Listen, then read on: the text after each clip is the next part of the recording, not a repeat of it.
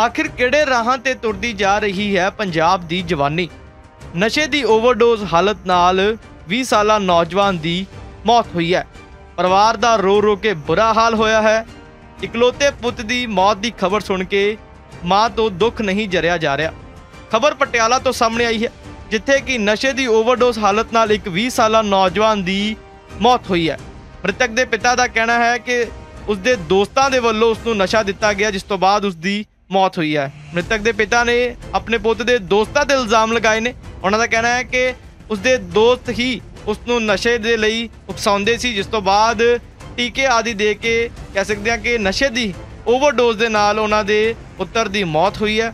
ਪਰਿਵਾਰ ਤੇ ਦੁੱਖਾਂ ਦਾ ਪਹਾੜ ਆ ਡਿੱਗਿਆ ਹੈ ਅਤੇ ਪਰਿਵਾਰ ਦਾ ਰੋ ਰੋ ਕੇ ਬੁਰਾ ਹਾਲ ਹੋਇਆ ਪਿਆ ਹਾਲਾਂਕਿ ਕੁਝ ਦਿਨ ਪਹਿਲਾਂ ਹੀ ਨੌਜਵਾਨ ਨੂੰ ਦਰਜੀ ਦੀ ਨੌਕਰੀ ਮਿਲੀ ਸੀ ਅਤੇ ਉਹ ਬੀਤੇ ਕੁਝ ਦਿਨਾਂ ਤੋਂ ਉੱਥੇ ਨੌਕਰੀ ਕਰ ਰਿਹਾ ਸੀ, ਪਰ ਉਸਦੇ ਪਿਤਾ ਦਾ ਕਹਿਣਾ ਸੀ ਕਿ ਅਕਸਰ ਉਸਦੇ ਦੋਸਤ ਉਹਨੂੰ ਨਸ਼ੇ ਦੇ ਲੈ ਕੇ ਉਕਸਾਉਂਦੇ ਸੀ ਅਤੇ ਓਵਰਡੋਜ਼ ਦੇ ਨਾਲ ਹੀ ਜੋ ਉਹਨਾਂ ਦੀ ਪੁੱਤਰ ਦੀ ਮੌਤ ਹੋਈ ਹੈ। ਹਾਲਾਂਕਿ ਪੁਲਿਸ ਦੇ ਵੱਲੋਂ ਪਰਿਵਾਰ ਦੇ ਬਿਆਨਾਂ ਦੇ ਆਧਾਰ ਤੇ ਮਾਮਲਾ ਜੋ ਹੈ ਦਰਜ ਕਰ ਦਿੱਤਾ ਗਿਆ ਤੇ ਅੱਗੇ ਦੀ ਜੋ ਕਾਰਵਾਈ ਹੈ, ਉਹ ਸ਼ੁਰੂ ਕਰ ਦਿੱਤੀ ਗਈ ਹੈ। ਖਬਰ ਪਟਿਆਲਾ ਤੋਂ ਸਾਹਮਣੇ ਆਈ ਹੈ, ਜਿੱਥੇ ਕਿ ਇੱਕ ਨੌਜਵਾਨ 20 ਸਾਲਾ ਨੌਜਵਾਨ ਦੀ ਨਸ਼ੇ ਦੀ ਓਵਰਡੋਜ਼ ਦੇ ਨਾਲ ਮੌਤ ਹੋਈ ਹੈ। ਅੱਜ ਦਿਨ ਹੀ ਅਜਿਹੇ ਮਾਮਲੇ ਵਾਧੇ ਹੋਏ ਵਿਖਾਈ ਦਿੰਦੇ ਹਨ ਜਿੱਥੇ ਕਿ ਹੁਣ ਨਸ਼ੇ ਦੀ ਭੇਟ ਇੱਕ ਹੋਰ ਪੰਜਾਬ ਦਾ ਨੌਜਵਾਨ ਜਾ ਚੁੱਕਿਆ ਹੈ ਔਰ ਨਸ਼ੇ ਦੀ ਓਵਰਡੋਜ਼ ਦੇ ਨਾਲ ਉਸ ਦੀ ਮੌਤ ਹੋਈ ਹੈ।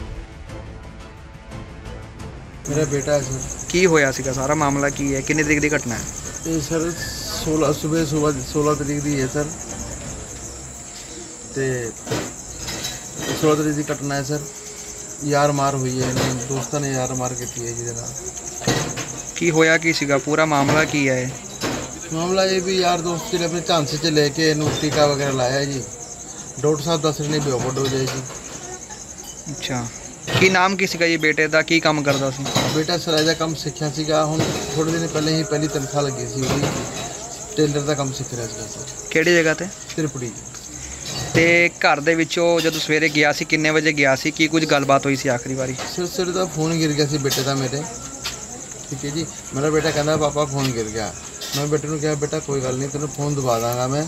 ਤੇਰਾ ਫੋਨ ਪੁਰਾਣਾ ਹੋ ਗਿਆ ਜੀ ਤੈਨੂੰ ਨਵਾਂ ਦਵਾ ਦਾਂਗਾ ਕੋਈ ਗੱਲ ਨਹੀਂ ਹੁਣ। ਹੂੰ। ਪਹਿਲਾਂ 4G ਦਾ ਸੀਗਾ ਹੁਣ ਮੈਂ ਤੈਨੂੰ 5G ਦਵਾ ਦਾਂਗਾ। ਹੂੰ। ਪਰ ਉਹਨੇ ਐਸਾ ਮੌਕਾ ਨਹੀਂ ਤਾਂ ਮੈਂ ਦੁਬਾਰਾ ਬੇਟੇ ਨੂੰ ਫੋਨ ਦਵਾ ਸਕਾਂ ਜੀ। ਹੂੰ। ਕਿਹੜੇ ਦੋਸਤ ਸੀਗੇ? ਕਿੰਨੇ ਸਮੇਂ ਤੋਂ ਨਾਲ ਸੀਗੇ ਇਹਦੇ? ਤੇ ਬਰੁਣ 2.5 ਸਾਲ ਹੋ ਗਏ ਸਰ ਇਹਦੇ ਨਾਲ ਸੀਗੇ ਜੀ ਇਹ। ਹੂੰ। ਇਹ ਸਕੂਲ ਵਗੈਰਾ ਵੀ ਪੜ੍ਹੇ ਸੀਗੇ ਇਕੱਠੇ? ਹੋ ਸਕਦਾ ਸਰ ਪੜ੍ਹੇ ਹੁਣ ਪਹਿਲਾਂ ਕਿਉਂਕਿ ਜਿਹੜਾ ਬਰੁਣ ਹੈ ਨਾ ਉਹ ਮੇਰਾ ਗਵਾਂਢੀ ਹੈ ਇੱਧਰ ਇੱਕ ਤਾਂ ਨਿਵਾਸੀ ਉਹ ਵੀ ਹੈ। ਇੱਧਰ ਅੱਛਾ ਜੀ। ਤੇ ਕੋਈ ਜਿਹੜਾ ਕਾਰਨ ਅੰਕੁਸ਼ ਹੈ, ਇਹ ਉਧਰ ਰਹਿੰਦਾ ਜੀ ਸਿਉਨੇ ਪਿੰਡ। ਕੋਈ ਕਾਰਨ ਪਤਾ ਲੱਗਿਆ ਵੀ ਕਿਉਂ ਨਹੀਂ ਇਸ ਤਰ੍ਹਾਂ ਉਹਨਾਂ ਹੋਇਆ? ਨੇ ਕੁਝ ਨਹੀਂ ਦੱਸਿਆ ਕਾਰਨ ਕਾਰਨ ਕੋਈ ਨਹੀਂ ਦੱਸਿਆ ਜੀ ਉਹਨਾਂ ਨੇ।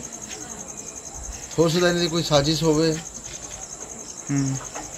ਇਹ ਕਿਸ ਤਰ੍ਹਾਂ ਵਰੁਣ ਨੂੰ ਆਪਣੇ ਵਰੁਣ ਹੋਣੀ ਕਿਸ ਤਰ੍ਹਾਂ ਨਾਲ ਲੈ ਕੇ ਗਏ ਸੀ ਹਰਸ਼ ਨੂੰ ਆਪਣੇ? ਹਰ ਨੂੰ 4 ਵਜੇ ਨਾ ਜਿੱਥੇ ਕੰਮ ਕਰਦਾ ਹੈ ਨਾ ਟੇਲਰ ਦਾ ਸਰ। ਉਥੋਂ 4 ਵਜੇ ਆਪਣੇ ਨਾਲ ਲੈ ਕੇ ਗਏ ਸੀਗੇ।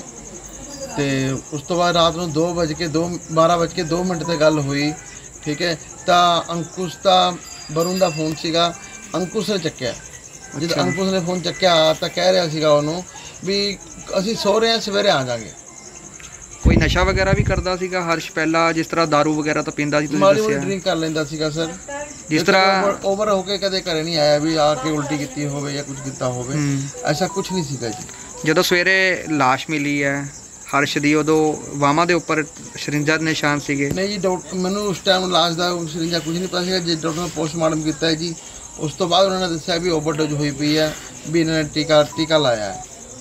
ਅੰਕੁਸ਼ ਤੇ ਵਰੁਣ ਮੰਨੇ ਵੀ ਹੈ ਵੀ ਹਾਂ ਅੰਕੁਸ਼ ਕਹਿੰਦਾ ਵੀ ਹਾਂ ਮੈਂ ਟੀਕੇ ਲਾਏ ਆ। ਹੂੰ। ਹੁਣ ਘਰ ਦੇ ਵਿੱਚ ਕਿਸ ਤਰ੍ਹਾਂ ਦਾ ਮਾਹੌਲ ਹੈ? ਉਸ ਦੀ ਮਦਰ ਕਿਸ ਤਰ੍ਹਾਂ ਦੇ ਨੇ? ਤੁਸੀਂ ਦੇਖ ਸਕਦੇ ਹੋ ਜੀ ਉਹਦੇ ਮਦਰ ਹੈਗੇ ਨੇ। ਉਹ ਰੋਂਦੇ ਰੋਂਦੇ ਬੇਹੋਸ਼ ਹੋ ਜਾਂਦੇ ਨੇ ਜੀ ਕਈ ਵਾਰੀ।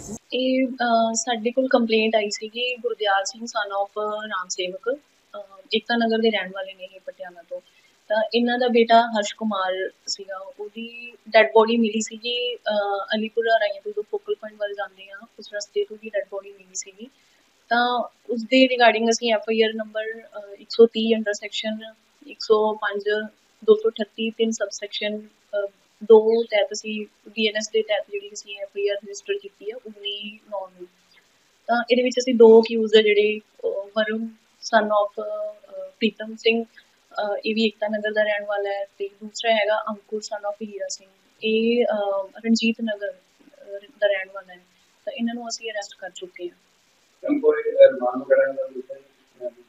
ਅੱਜ ਇਹਨਾਂ ਨੂੰ ਪੇਸ਼ ਕਰਨਾ ਹੈ ਤਾਂ ਅੱਜ ਰਿਮਾਂਡ ਅਸੀਂ ਹਾਸਲ ਕਰਨਾ ਹੈ